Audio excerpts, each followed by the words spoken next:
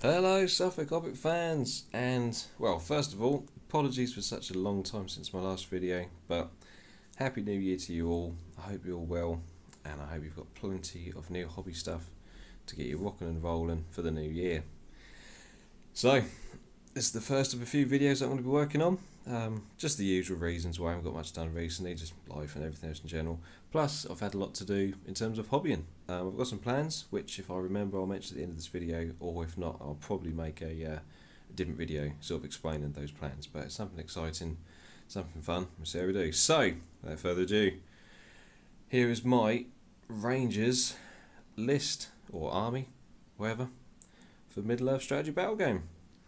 Army I've been working on since last September, October time. Um, I've played with them quite a few times now, against my good friend Lynn, and uh, also against my wife. Um, and I've been really successful with them, really successful. Um, and I've just loved playing them. I've really enjoyed playing them. I've really enjoyed painting them. Really enjoyed sort of delving deeper into the lore. Um, it's always been fun to sort of finally actually sort of focus on these guys um, as I feel they should be. Because I'm sure, as you all know, the Rangers in the previous early editions, they were it's not broken, but I, I always felt they, they weren't quite right. They didn't quite work, in my opinion. Um, and it's just, uh, well, you know, you had one Ranger, one Dunedain for every three, every three normal Rangers, wasn't it? I believe something like that. Um, and you could ally in certain things. They're quite broken in the sense you could mix them up with the Arnor as well, uh, like the Arnor Force, like Warriors and yeah, King Arthur doing so. And that was good, and I did use it for that reason. You know, that they were kind of a handy sort of extra hero to buff with. It, it, it didn't quite flow right because the Rangers, and as we all know, the Dunedain, they're meant to be sort of the ancestors of the Arnor Warriors and all this, that, and the other. So that didn't quite work. So anyway, it was lovely to finally work on these guys as I feel they all should have been and and yeah, it just worked brilliantly well, really well. The reason I went for this force was uh, there was going to be a little tournament type thing at the local gaming place in Colchester, 40k. Unfortunately, that sort of went south. Nothing really come of it. I wanted a small force um, to start. I'd like to start doing tournament games if and when I can. And I figured with all the armies I do have, I thought one of the best ones to go for would be something that's easy to remember, only a few, a few, a few you know, sort of heroic things to really remember, and I can really practice and really sort of hone hone the skills of my you know gaming ability. And the Rangers, you know, suit that perfectly. I mean, you've got heroic, we've got heroic accuracy and heroic strike, is it? I believe for Arathorn and Halbarad. They're sort of the main things I do believe. Aragorn obviously has all of them, but I wasn't going to use him too much in the tournament as it turned out. Um, he was there mainly sort of to boost the numbers. Um, and uh, yeah, that's what I was gaming for with these guys, and that's why I was sort of motivated to build them and paint them up like I did. Um, also, a little bit of a uh, boost was because they, uh, uh quite a while ago, they obviously re released these guys on a made to order special, which was the Grey Company Rangers um, for, I think, Christ, one of the earlier editions of the Middle Earth game. Um, I think it was possibly back when it was the when they were doing the uh, uh, what's it called? The the huge armies, you know, movement trade based Lord of the Rings uh, gaming.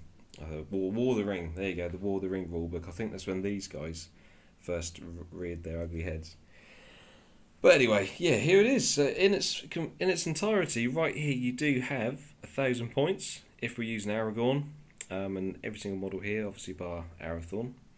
Um, this is a thousand points in total with rangers all carrying spears. You got the mounted knights, the mounted, you know, rangers, cavalry, whatever, and a few Dunedain as well. So if we, how should we do this then? So I've sort of waffled on a bit. So you look colours wise, I probably should have had them out as a reference to be quite honest, but colours wise is my usual trick, tried and tested. You have got Mournfang Brown, you have got Dryad Bark, you've got Rhinox Hide, you have got XV88 in various shades mixed with Mournfang Brown, Ceramite White, all the usual guys. Um, you've got Mechanicus Standard Grey, you have got Fortress Grey, is it? I believe it's Fortress Grey.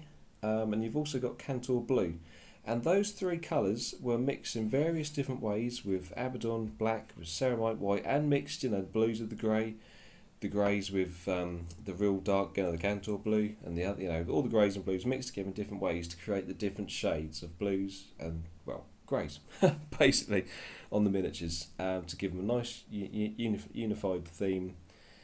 Um, and it just went from there. There's a small amount of Elysian, Elysian, Elysian green, which is just there on a lot of the Rangers. You'll see that it's just a little bit of a spot colour. I wanted to put into them and a couple of the Dunedain have got a little bit more brown on their uh, paint jobs than than the greys and the blues, and that's because I wanted to sort of represent the fact that they're meant to be the slightly sort of, well, the way I sort of see it, they're the sort of more rough and tumble. Then then they're descended from the not so lordly uh, houses as the Rangers of the North are.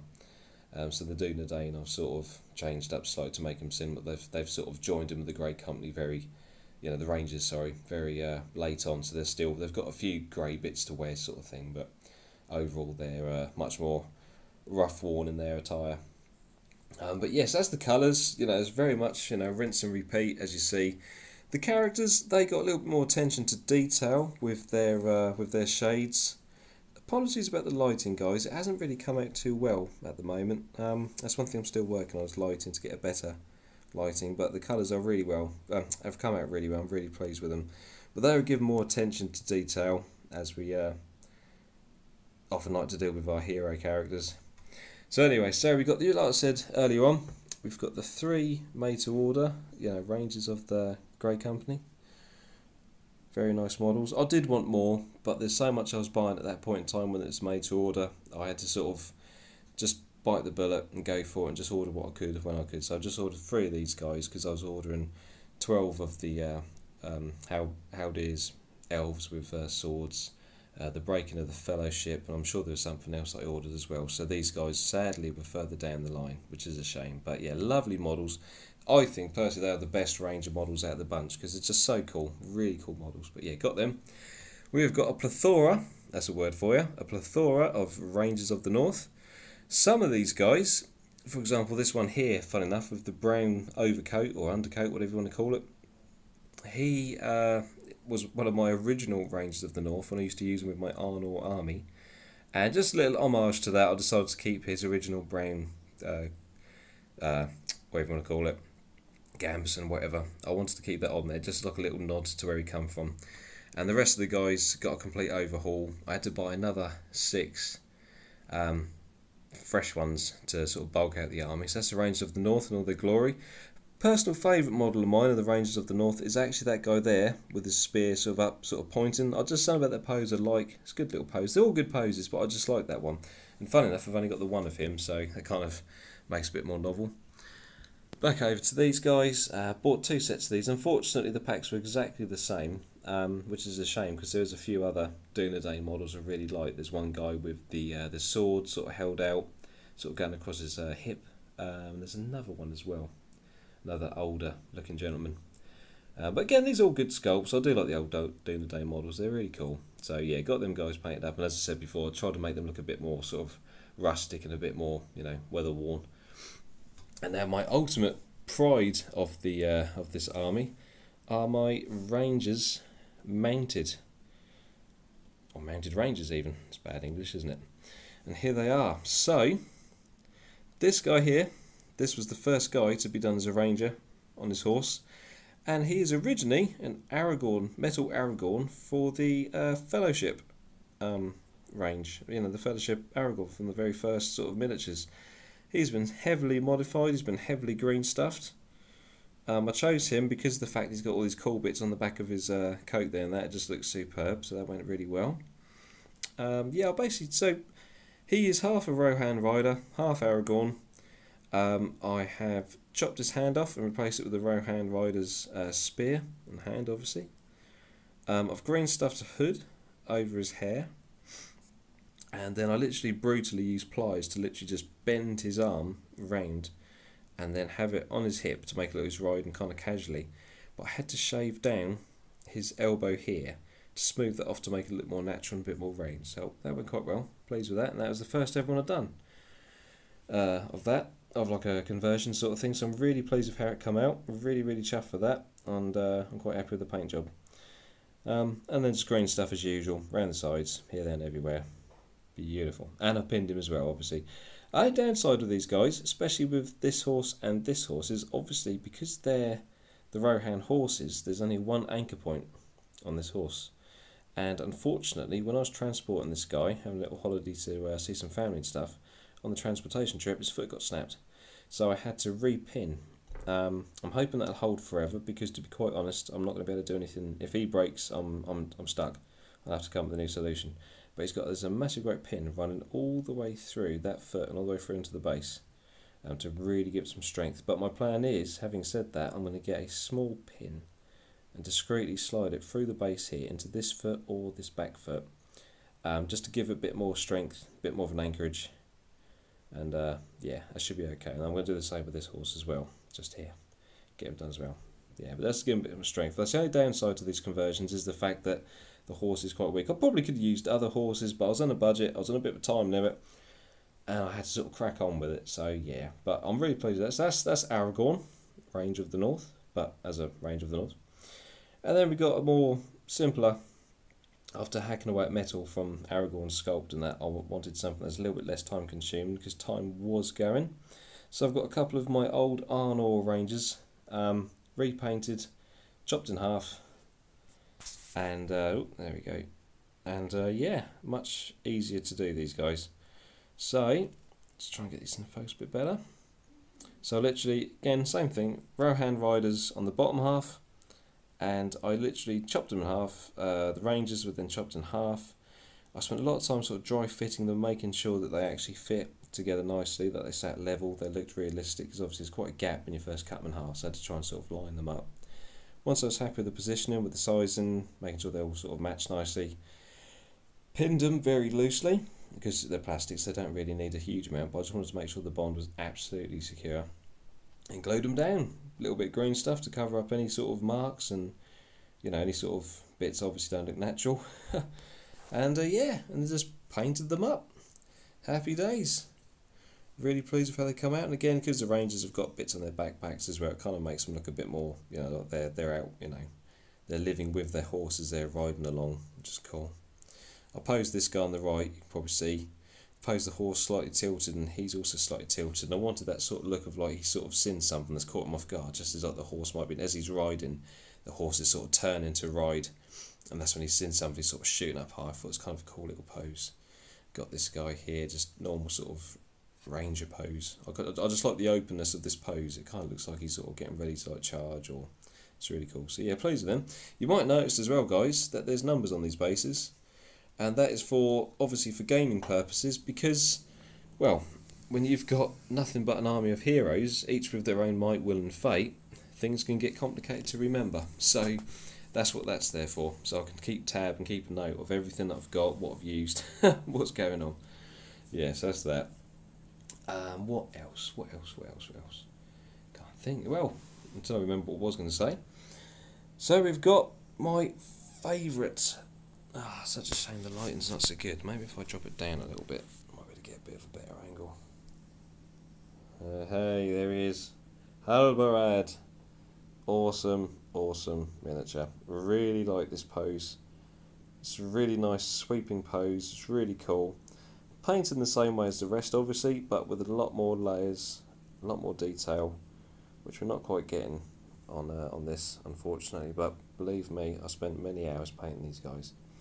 Um, loving the bases as well. One thing I've done with all the bases, lots of floral colours, sort of darker tones of flowers as well, um, whites and purples and dark colours and things, to give it that look of like you know the Northlands where you get the sort of the rougher, tougher sort of flowers, more unusual, vibrant colours, rather than down the south you got the pretty flowers and things. I wanted that sort of more northern, rough, you know, lavenders, the the, the deep purple colours that you get from from flowers and like the, the shrubs and things from uh, sort of like you know Yorkshire and you know the the moorlands all that sort of thing.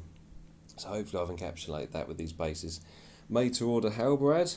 I as soon as this dude come out, I was buying him because people that sell these guys on eBay are just heartless and just I don't know get me started. It really annoys when people sell these models at such a silly inflated price. I can understand the collector's point of view, but there's there's there's collecting price and there's just being silly for the sake of it. But yeah, he's this is this dude. I was thinking of doing some flamboyant with the flag, but ultimately I decided to go with the black and the white flag, or just a simple highlight and the little gold crown edge tie, because I think subtlety works better with this. I was thinking of going some real cool freehand stuff, but I don't think it would actually add to the model myself personally. Um, maybe some of the far, far better talent than me could maybe make it work, but I don't think I'll do the model justice, and I think the flag, as it is, is more than enough for what, what it represents. We have Arathorn. My favourite model, I love Arathorn. I like his character, you know, the lore that exists of him, I really like. Um, he was originally painted different as well, because I had this dude, um, along with a few others from my Arnor army, but I then changed him round. He sort of just acted as a captain, really, for fluff reasons.